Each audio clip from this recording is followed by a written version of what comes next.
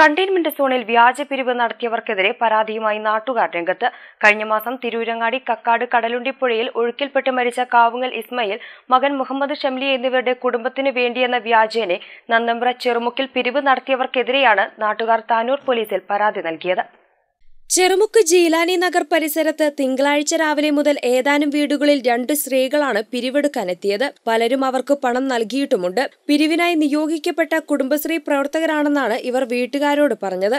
എന്നാൽ ഇവർക്ക് കാവുങ്ങൽ ഇസ്മായിലിന്റെ കുടുംബവുമായോ ഈ കുടുംബത്തെ സഹായിക്കാൻ രൂപീകരിച്ച കമ്മിറ്റികളുമായോ ഒരു ബന്ധവുമില്ലെന്നാണ് നാട്ടുകാർ പറയുന്നത്. ഒരു വിവരം കിട്ടിയത്. അപ്പോൾ അത് അവരുടെ നാട്ടുകാരായിട്ടും അവിടുത്തെ കൺസുലറായിട്ടൊക്കെ സംസാരിച്ച സമയത്ത് അങ്ങനെ അവരാരും അതിനൊരാരും അതിന് ഏർപ്പാടാക്കിയിട്ടില്ല. മാത്രമല്ല കുടുംബശ്രീ പ്രവർത്തകരാണെന്നാണ് ഇവർ വീടുകളിൽ പറഞ്ഞിട്ടുള്ളത്. അപ്പോൾ കുടുംബശ്രീ ആയിട്ടൊരു ബന്ധമില്ല എന്നുള്ളതും നമുക്കതിന്റെ വിവരം കിട്ടി.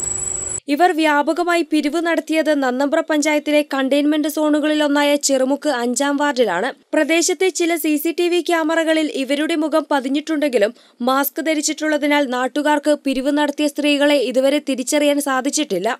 മലബാർ ടൈംസ് താനൂർ